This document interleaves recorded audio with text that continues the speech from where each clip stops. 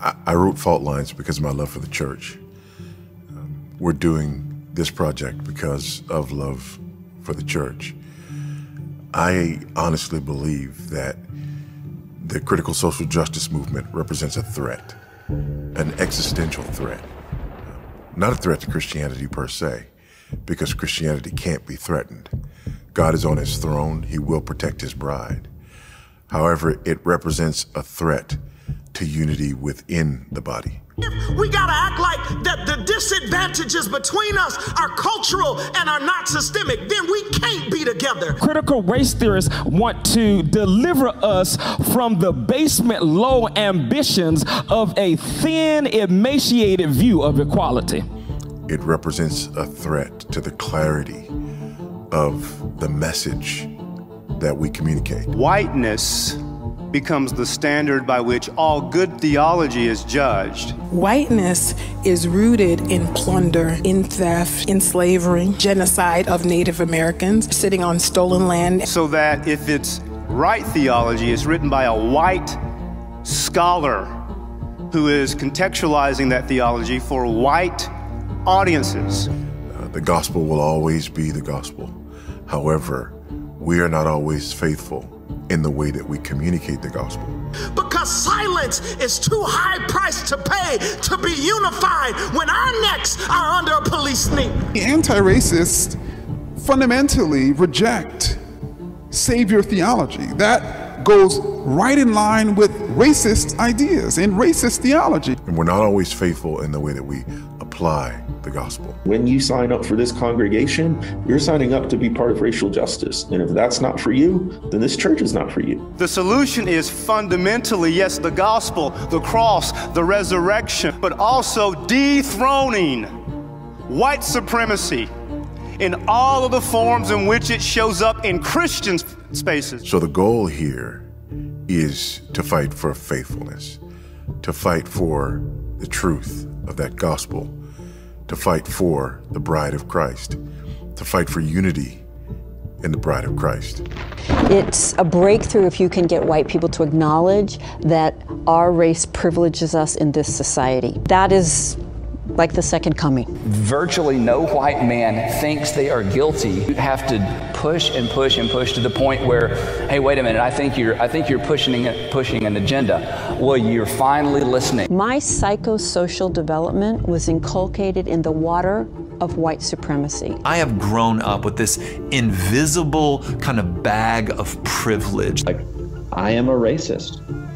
Mm-hmm a system in which whiteness and white people are central and seen as inherently superior than to people of color. I'm going to struggle with racism and white supremacy until the day I die and get my glorified body. What I'm talking about right now is white privilege. Because I'm immersed in a culture where I, I benefit from racism all the time. Nothing makes Anglos more angry than the idea of white privilege.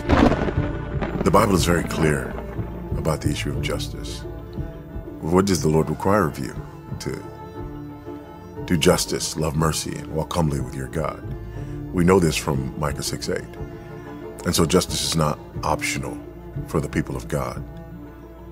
That's why it's so critical that we understand what justice is.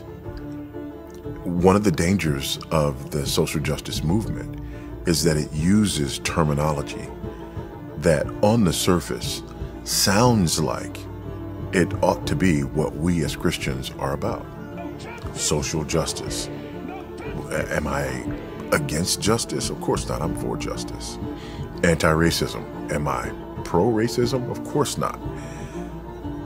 So, what we need to do is get behind these terms, get behind these words, and look at two things. Number one, look at what people mean when they use them in this cultural moment.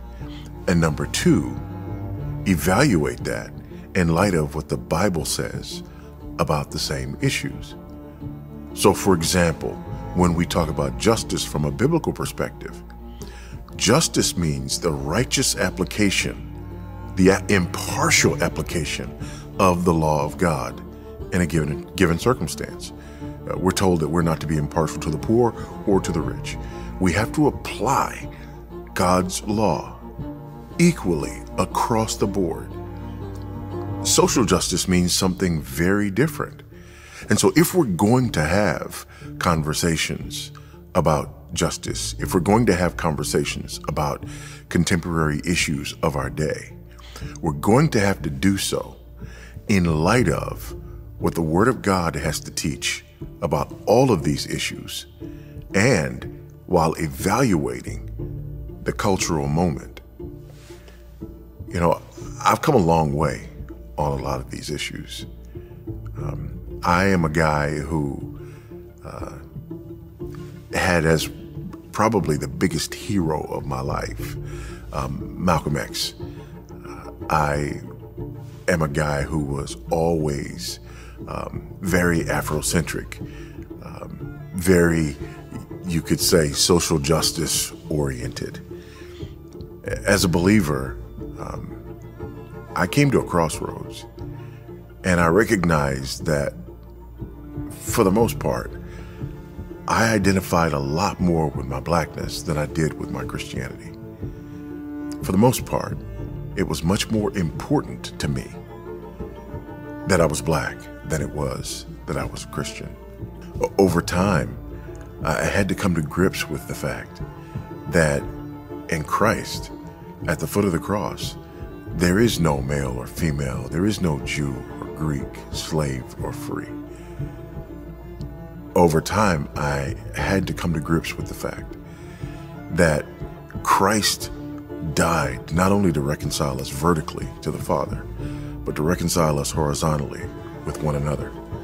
And that I am a member of the body of Christ. And that nothing supersedes that. Nothing is more important than that. And it is that realization and my desire to see that unity manifested within the body of Christ. If you're doing this study with a group, my hope is that this would be a place where you can be open, where you can be honest, a place where you can evaluate the narratives that are flying all around you, and a place where you can judge those things not according to your feelings, but according to the truth of the scriptures, according to what thus saith the Lord. I do believe that justice is incredibly important. But justice is only important to the degree that it is the justice that God demands. To that end, we have to be right about what the word justice means and about what God requires of his people in this critical moment.